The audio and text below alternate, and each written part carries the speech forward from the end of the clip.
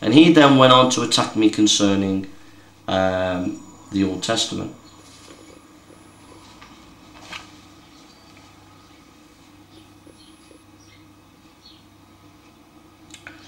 So he said that the Old Testament showed violence, Joshua going in, killing women, children, etc. But in Leviticus 18 25 28, Leviticus, Leviticus 20 22, Deuteronomy 18 verse 9 and 14, 2 Kings 21 9, God used the Jewish people to judge the nations. Abraham was told in uh, Genesis 15 that there would be a people 400 and odd years later that will go into Canaan, but he's giving the people of Canaan time to repent. So when uh, Joshua marches into Canaan to do battle, those people had had 400 years to repent, and they were doing child sacrifices, raping and pillaging for 400 years, and God brought judgment through the people, uh, through his people. But I said, is it descriptive or prescriptive? The Old Testament is not prescriptive. It's not there for us to obey these battles. It's there to describe the redemptive history about the Messiah coming into the world. Because when Joshua goes into the promised land, there is where the Messiah would be born. So it was important that that land be taken because Jerusalem would be the place where Jesus was crucified, Bethlehem would be the place where he was born, so that land was part of the plan of the Messiah coming to this earth. Now he attacks the Old Testament,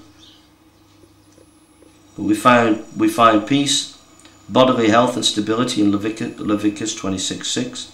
Welfare 2 Samuel 2019, family relationships Genesis 29 6, friendship Genesis 43 27, encouraged to pursue peace Psalm 34 14, uh, to encourage spiritual peace Numbers 6 26, and if there is war in the Old Testament, is to encourage peace Psalm 20 72 verse 7. And ultimately, the Old Testament is pointing to the final person, the Messiah, who is the Prince of Peace in Isaiah chapter 9, verse 5 and 7, Micah 5 4 5. The Old Testament that he was attacking is encouraging us to look to the Prince of Peace, who is Jesus Christ. Isaiah 2 4. But when he comes, beat our swords into plowshares and our spears into pruning hooks. Nation will not take up sword against nation, nor will they train for war any more.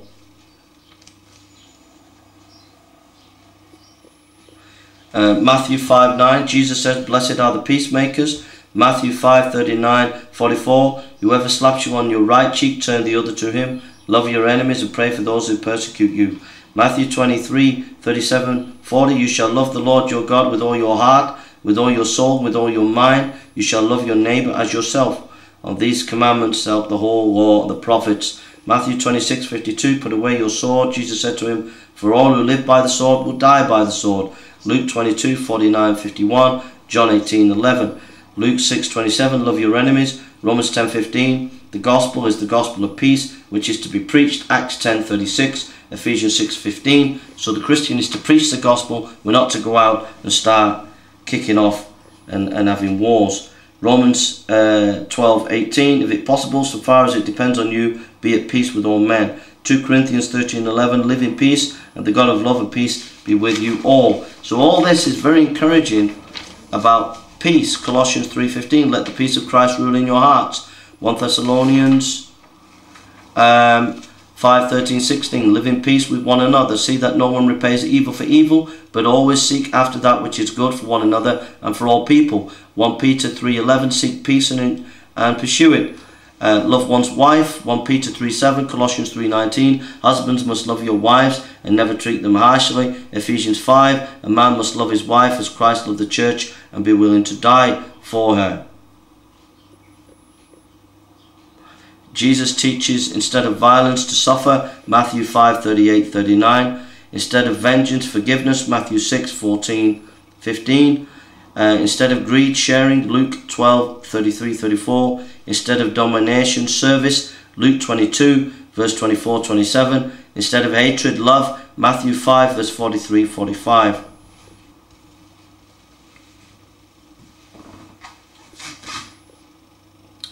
So we have the cleansing of the temple when God got Jesus goes in. That was because of the corruption. It was righteous anger. It's not wrong to be angry. If you see someone being raped, you have a right to be angry at that. And Jesus saw God being raped by men who were in the temple and using the temple as, as a harlot, a place of harlotry, uh, making money and greed rather than worshipping God. And, and Christ was angry and he had a right to do that to turn the tables over.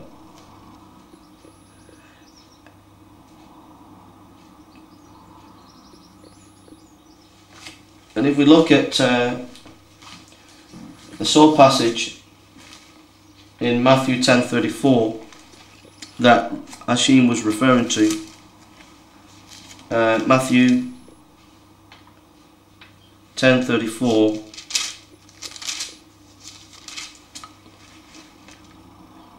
It says, Think not that I have come to send peace on earth, I have come to send peace but a sword. For I have come to send a man at variance against his father, the daughter against her mother, the daughter in law against her in law.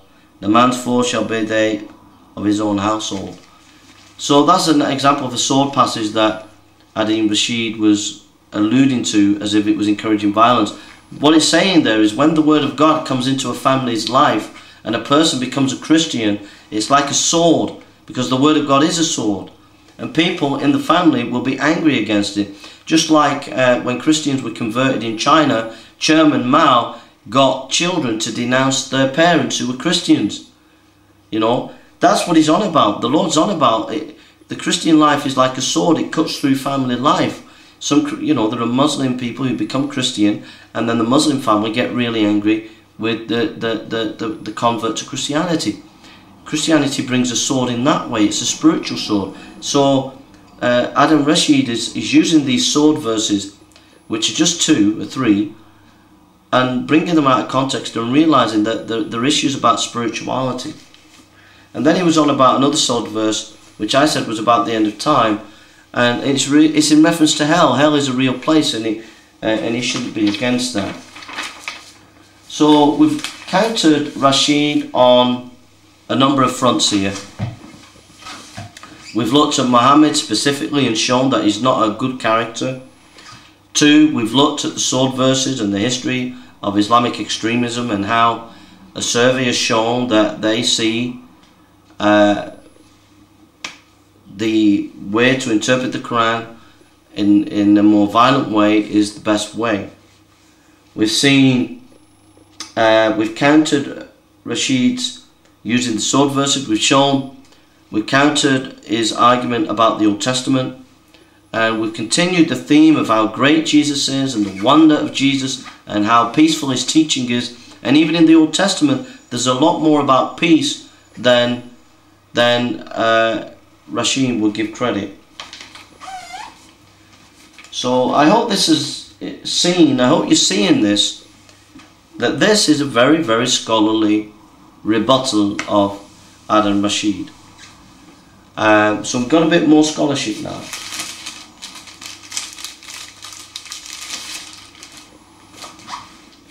And this is from Dan Gibson's uh, book, Quranic Geography. And he is a massive scholar, absolutely massive scholar. So all the scholarship that you need all the scholarship. And this is my final parting shot Uh, Adnan Rashid. And, and this is proper scholarship. This is amazing scholarship. Right? So this is my final parting shot. Now so you can get this from Appendix A, Timeline of Early Islamic History in Dan Gibson's book, Quranic Geography. Dan Gibson's book, Quranic Geography, page 382, Appendix A, Timeline of Early Islamic History. Blow your mind.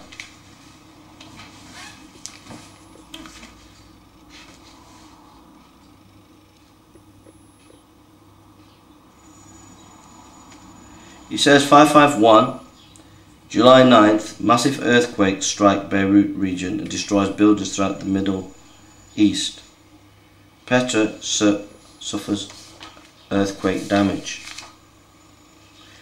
570 Birth of Muhammad, Year of the Elephant. Mecca attacked by Yemenis with, the, with an elephant. 576 Death of Ami, mother of Muhammad. 578 Death of Abdul Muttalib. 583 Muhammad's journey to Syria with Abu Talib. Muhammad is 14 years old. 589 Civil War. The Quraysh fight the Kinnan, known as sacrilegious war. So now this is documented by Dan Gibson. So he's done the research here. We're on uh, page 383. So in the time of Muhammad's youth, where he's a young man, he's witnessing civil war. Muhammad uh, in 593 works for Kajid. In 59, uh, 595 Muhammad marries Kajid. Muhammad is 25 years old. 605 rebuilding of the Kaaba. Muhammad is chosen to place the black stone. Muhammad is 35 years old. Now, interesting, in 605, he's now involved in serious, serious politics when he's involved with the Kaaba of that time because the Kaaba, uh, there was a lot of uh, tribes vying for power concerning uh, who ran the Kaaba. 610, he had his so-called first revelations in the cave of Hira. Muhammad is 40 years old. 611, uh, submits to Islam. 612, first ritual of Islam prescribed. First believers. 613, Mount Safa declaration, public preaching. 614, some Muslim migrants to Abyssinia, persecution begins.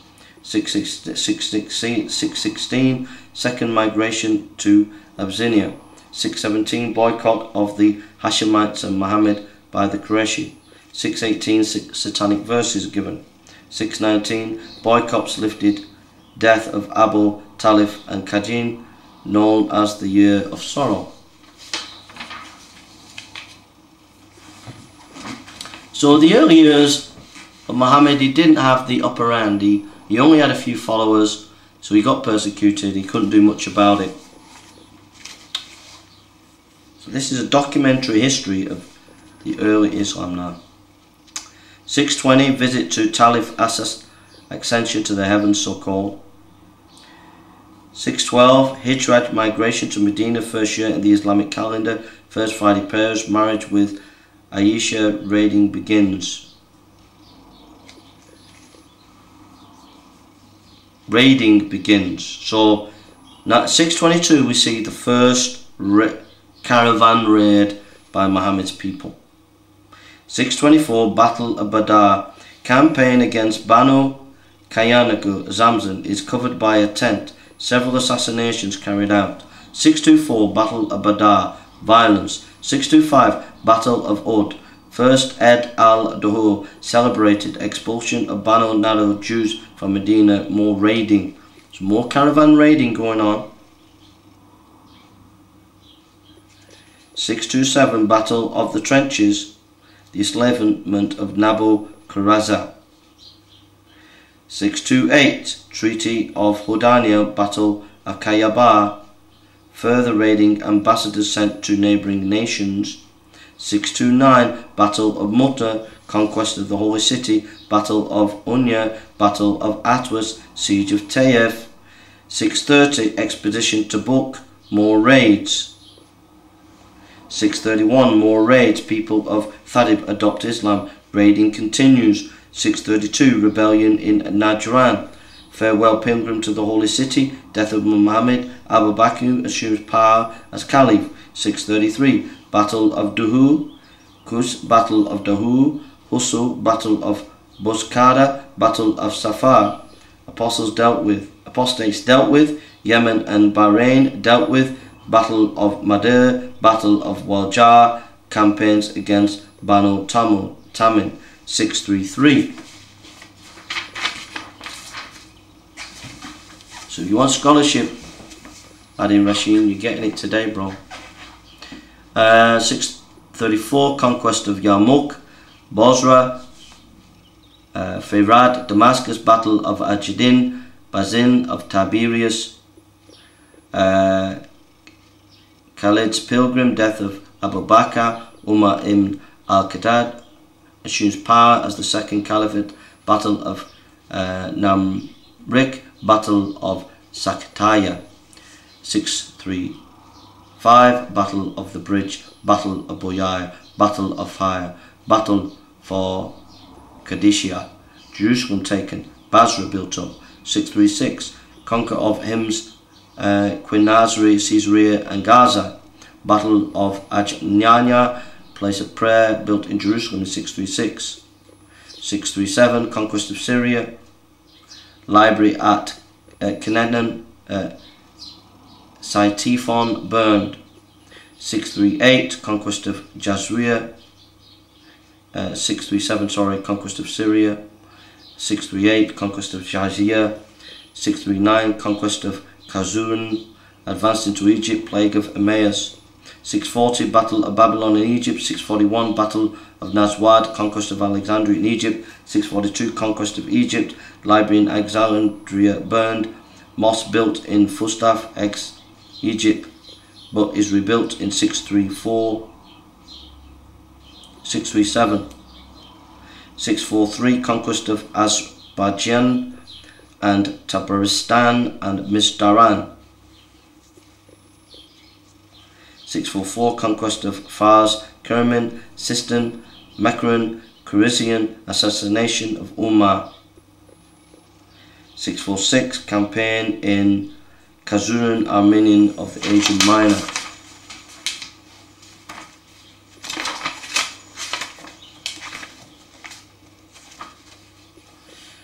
Six four seven campaign in North Africa, Constance of Cyprus. Six four eight uh, campaign against the Byzantines.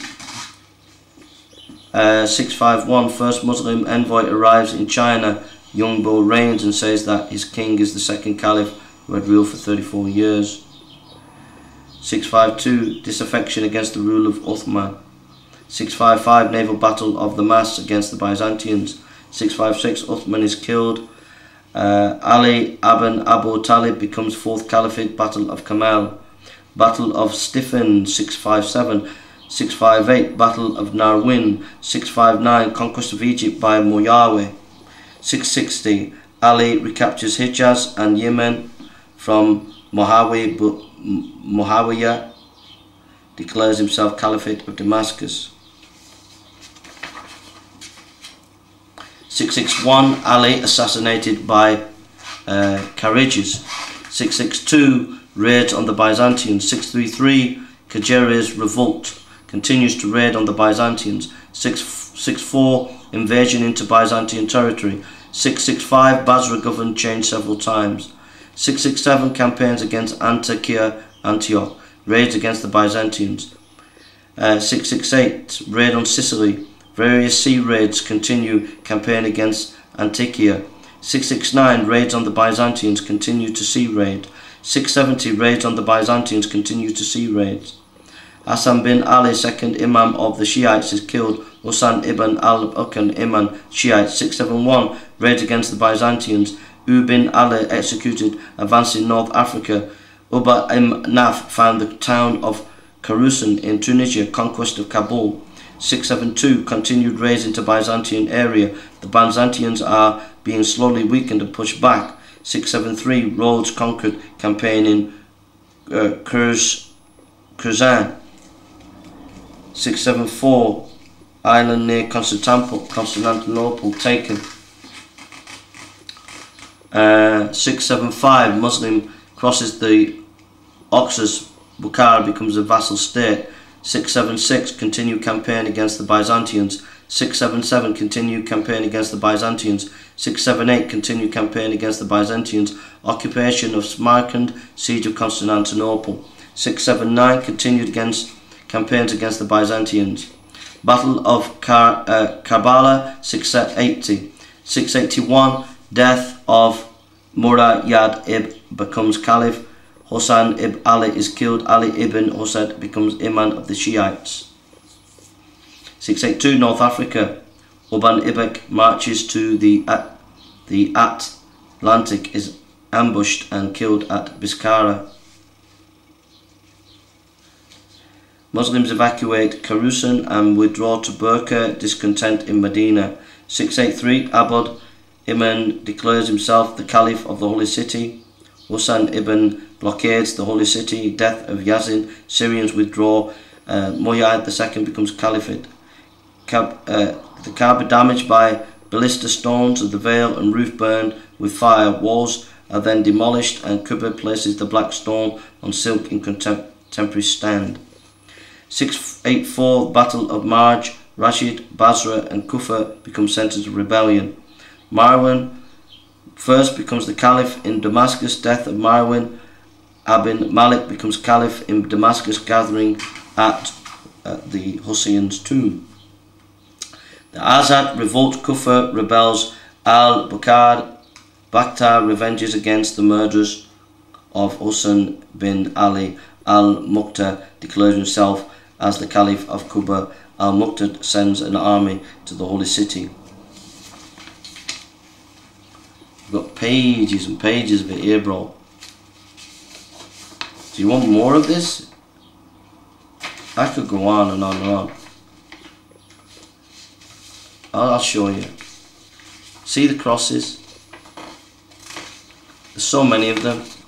Battle after battle. Look at the crosses, the swords there. Battle after battle throughout the history of Islam. Right up to 717. Battle after battle. Battle after battle. Right up to 750. Battle after battle. I could go on and on and on. Battle after battle. Battle after battle. Battle after battle. Battle after battle. Who doubts that Islam is not violent, according to this scholarship?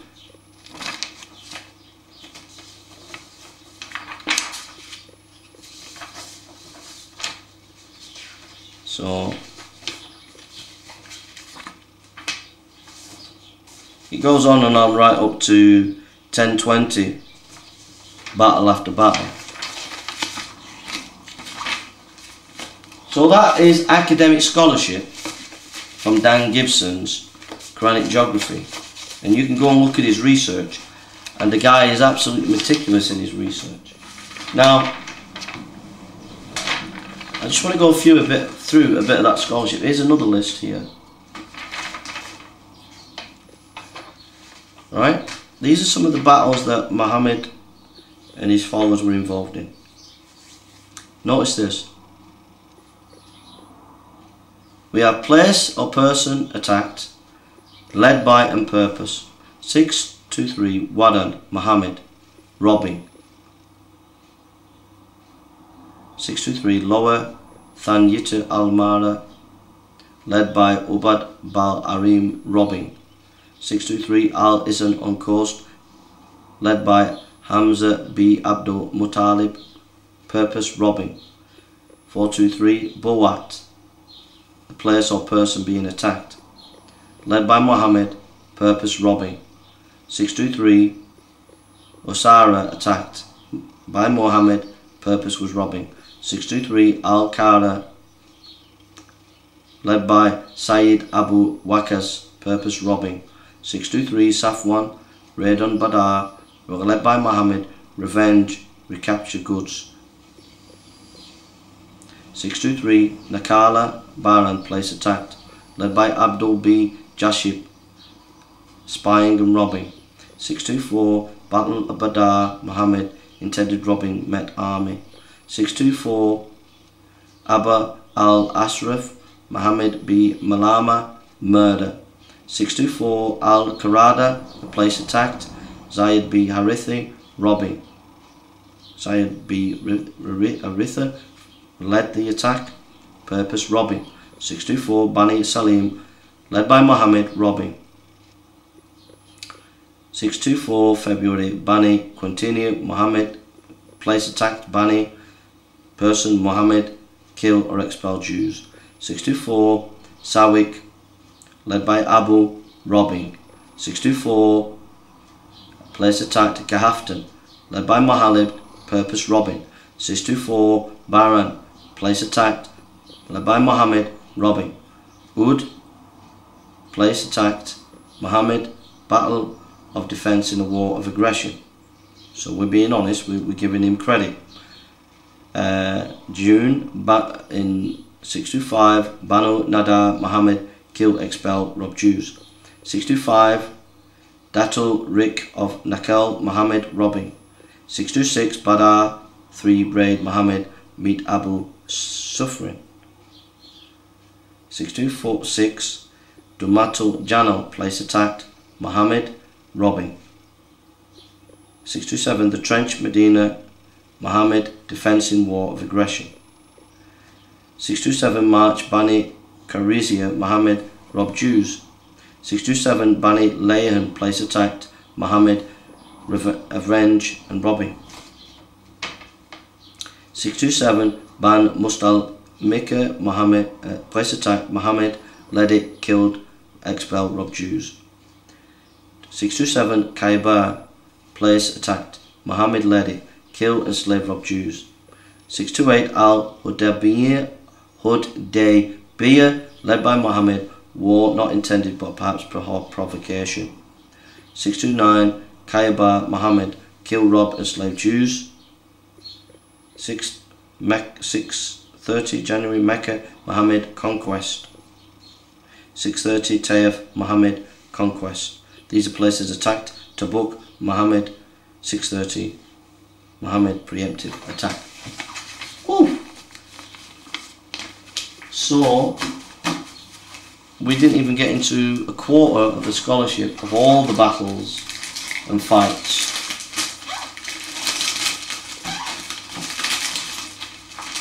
Now I've finished my point to say that Jesus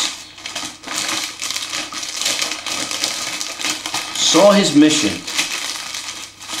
as one of being crucified for our sins. Uh, if you look at Matthew 27 25, there they crucified him. Mark 15 24, when they crucified him. Luke 23 33, and when they had come to a place called Calvary, there they crucified him. John 19 23, then the soldiers went. They had crucified Jesus, took his garments.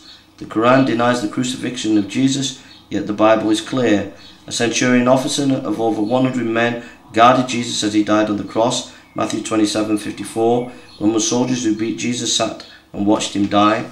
Matthew 27 27 36 and 36. Chief priests and scribes and elders all watched Jesus die. Matthew 27 41. Many unnamed women who Jesus had known watched him die. Matthew 27 55. In John 19 25 27, now there stood by the cross of Jesus his mother and his mother's sister Mary, the wife of Clopas, and Mary Magdalene. When Jesus therefore saw his mother and the disciples whom he loved standing by, he said to his mother, Woman, behold your son. And he said to the disciple, Behold your mother. And from that uh, the disciple took her to his own. So Jesus uh, saw his ministry as dying for our sin. We see the historical eyewitnesses and the Gospels show Jesus died. We have um, Cornelius Tacitus respected historian 155 120 AD, uh, said, In most mischievous superstition, nevertheless, Tacitus confirmed that this sect was formed from the followers of Christus who suffered the extreme penalty during the reign of Tiberius at the hands of Pontius Pilate. The term extreme penalty refers to crucifixion. And I, I talked about Jesus dying on a cross. In Mark 10, he says, I give my life a ransom for many. And I said, Jesus saw his life as dying for people and rising again to bring salvation to people. It was not about war. And uh, Rashid said, well, Josephus, uh, it's an interpolation when it says about resurrection. And I couldn't tell him the scholarship. I know the scholarship inside and out about Josephus and um, the statement concerning Jesus' death and resurrection. And I wanted to tell him that most scholars agree that there has been interpolation about the resurrection, although just to point that most of the manuscripts have that bit about Josephus saying that Jesus rose again in the manuscript. So I think actually it's strong evidence that he did attest to that evidence. But even if we accept it, most scholars say it's been interpolated. But the bit where Josephus says that Christ died under Pontius Pilate, the vast majority of scholars, I mean, most scholars believe that Josephus is accurate what he's saying there, and it's not been interpolated. So uh, Adnan was wrong on the scholarship there, but that was a diverting tactic from his point of view. The main issue is I was saying that there's historical clear evidence that Jesus saw his life as dying and rising again. And it was not